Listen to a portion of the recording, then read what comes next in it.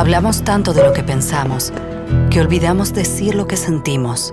Dejemos que el corazón elija las palabras. Cuando eliges un regalo con un porqué, el mundo es más bonito. Navidad Natura.